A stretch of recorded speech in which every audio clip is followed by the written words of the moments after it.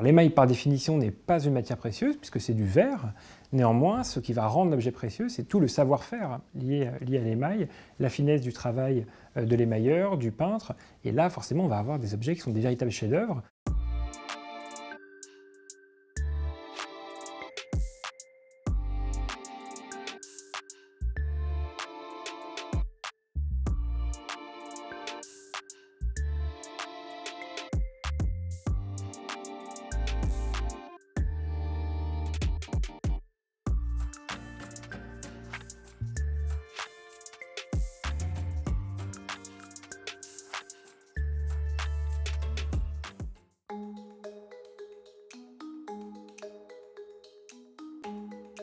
L'émail, originellement, c'est une manière d'apporter de la couleur à, un ornement ou à un bijou. En fait, l'émail, c'est l'art de fondre du verre, hein, tout simplement, euh, sur un bijou. C'est du verre coloré qui va être euh, broyé et ensuite c'est appliqué sur les supports et c'est chauffé. Et en chauffant, ça fond et ça permet d'obtenir une couche vitreuse. Ça va former une sorte d'armure, entre guillemets, c'est quelque chose de très solide. C'est une technique précieuse, euh, très exigeante et les objets émaillés peuvent être considérés comme des objets précieux de par la qualité en fait et la maîtrise du savoir-faire.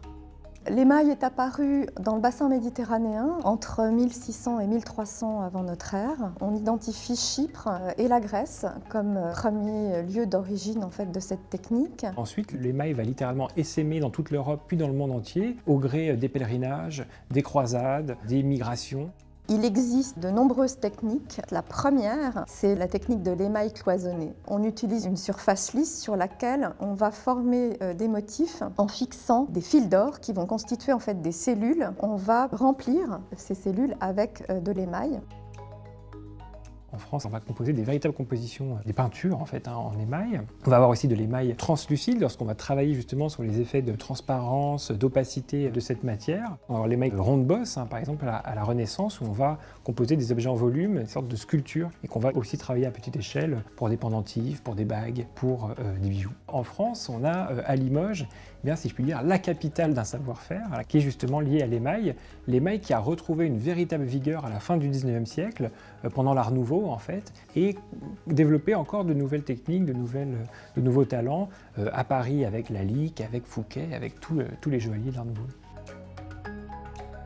Enamel expertise in Europe is one of the chapters of Around the World in Jewelry, a course taught at l'École, School of Jewelry Arts, where you will discover that jewelry from Africa to Asia, all the way through the Americas and Europe, is one of the first art forms of humankind.